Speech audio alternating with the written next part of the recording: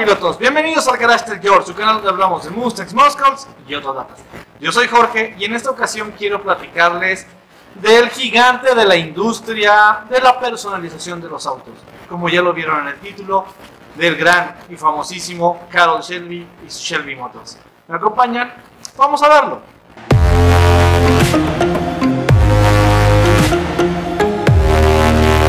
Bueno, pues en este video yo lo que les quiero platicar, híjole, ¿qué les puedo decir de Carol Shelby?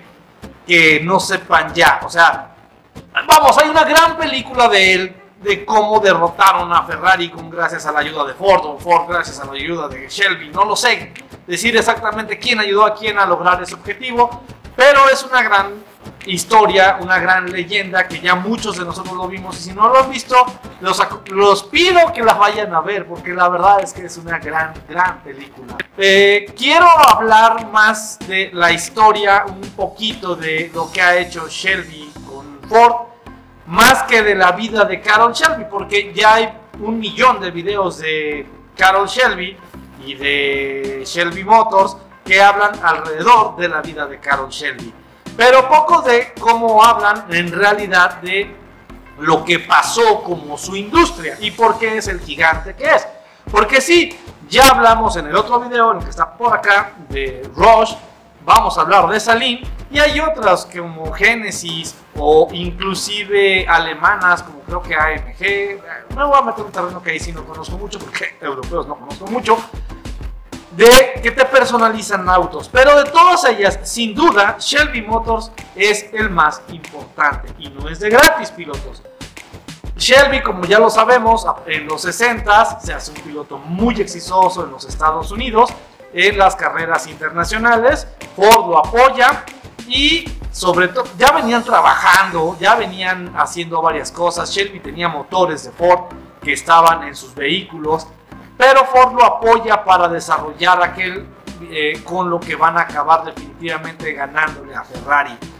Que por cierto, dato curioso, parte de los pilotos que le ganaron a Ferrari, no en la mítica de la película, o sea, la primera carrera, sino en las carreras subsecuentes, eran dos de los hermanos Rodríguez y la memoria no me falla. Ese es un dato que poquísima gente sabe. Pero bueno, regresamos al tema.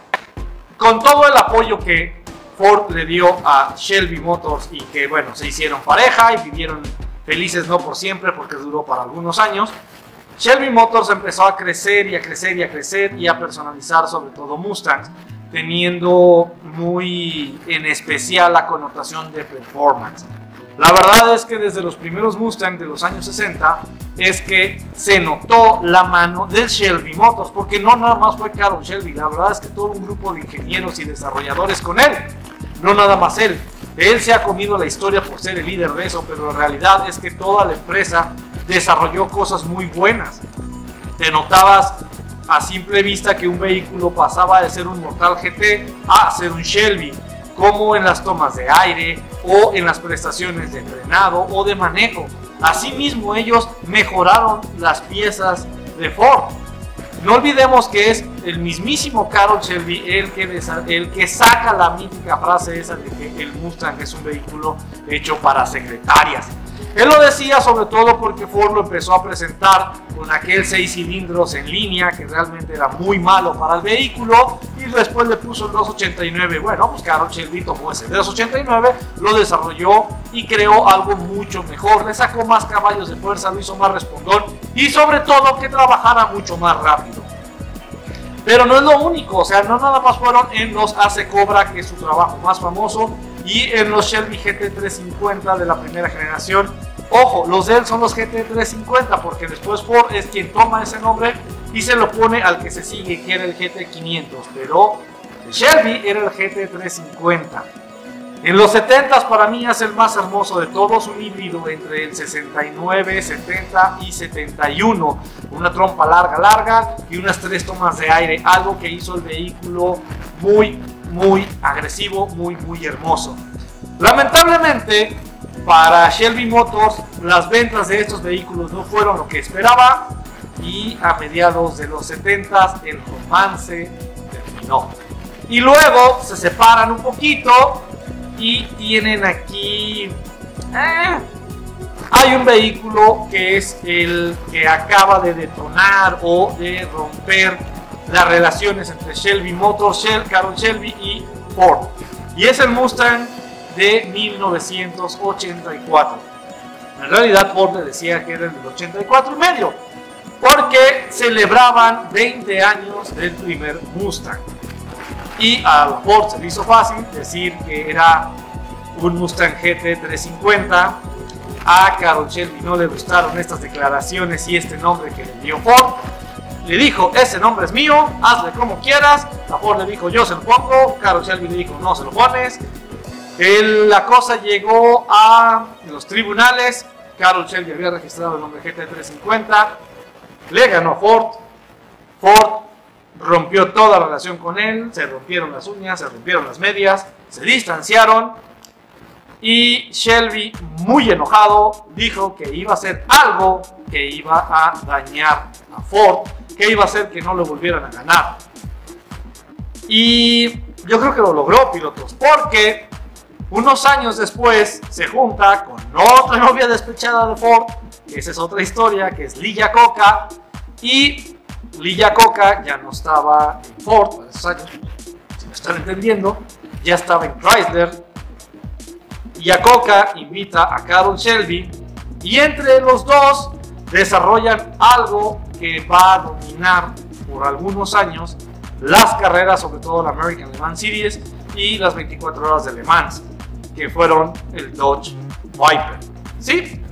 Carol Shelby es el desarrollador del Dodge Viper, digamos que apadrinado, eh, conjuntado, eh, en contubernio con Lee Iacocca. Otra vez, Yacoca y Shelby hicieron grandes cosas juntos, no nada más para Ford, también lo hicieron para Chrysler y crearon el Dodge Viper. Pero eh, Shelby Motors y Shelby Performance no nada más quedó ahí, por aquí van a estarlo viendo, pero eh, desarrollaron varios vehículos.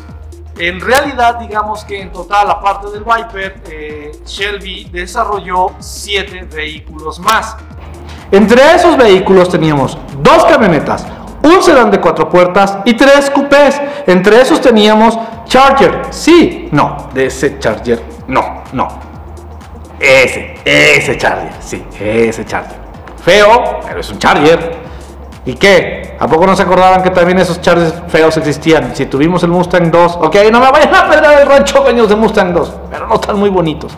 Tampoco ese Charger. Y también hay un Camaro que es horrible. O sea, eso da para un video. Vamos a hacer un video de estos tres feos. Shelby sigue en este idilio romántico entre Chrysler y ellos y producen o hacen eso. Realmente no hacen muchas unidades. Honestamente hablando, el único exitoso fue el Viper. La verdad es que de estos siete no, no llegaron ni a las 5000 unidades. Hoy en día son raros. Inclusive alguna vez tuve la oportunidad de tener en mis manos la tapa de punterías de uno de estos y que decía Shelby. Inclusive de ahí fue donde nació eh, mi que me llamaba la atención por qué decía Shelby, si yo nada más conocía que era del Viper y este era de un cuatro cilindros notoriamente. Y bueno, a la postre supe lo que les estoy platicando ahorita. Pero bueno, después de todo esto, eh, Shelby, pues, eh, digamos que le bajó de la espuma a su chocolate, Ford también, se sentaron a platicar, se pusieron los pantalones de niño grande y llegaron más arreglos y volvió el romance. Y tenemos que en el año 2006, mi viejito querido, y con todo su equipo de loquillos, sacaron el Shelby GT, no el GT500. En el 2006 teníamos el Shelby GT, que era una versión un poquito refinada del mismo GT, pero sobre todo llegó para la personalización del el Mustang Shelby GT H, que era el revivir de los este, eh, Hertz Red Agar Race, donde rentabas un coche que era de carreras y es toda una historia buenísima por ello. Lo revivieron por ahí del 2006, una producción que llevó del 2006 al 2009 y con eso oficialmente volvíamos a tener Shelby en Ford. Lo que pasó después es que para el año 2007 tenemos al hermoso y gloriosísimo Shelby GT500 la historia renace, es hermosa, crece y ahora volvemos a tener no cobras porque acuérdense que en aquel entonces quitaron el nombre Shelby para llamarlos nada más Cobra. Y ahora tenemos otra vez los Mustang Shelby GT 500 o GT 350 y por otro lado también tenemos los Mustang Shelby de Shelby Performance. O sea, es una cosa rarísima porque Ford vende Mustang Shelby y por el otro lado Shelby Performance vende también sus vehículos, los cuales generalmente pues le mejoran el sistema de el motor generalmente con un supercargador en condiciones, muchas veces cambian los rotativos para ponerles unos de mejores prestaciones y poder aumentar la compresión del vehículo, pero sobre todo la resistencia y poder meter un supercargador cargador grandote, y pasarlos de los 600, 700 caballos de fuerza, mejorar los sistemas de frenos, mejorar el sistema de suspensión, ponerles kits aerodinámicos de excelente calidad, muy bien hechos y que le van a dar una apariencia muy agresiva. Hoy en día tenemos en el mercado diferente lo que es un Shelby Performance y un Shelby GT 500 directo de Ford. Esas son las cosas muy buenas que dejó de esto. La verdad es que Carol Shelby y todo su grupo de loquillos en Shelby Performance mostraron la pauta o el camino a seguir para empresas después como Genesis, como Stida, como muchas otras que ahorita no, recuerdo el nombre.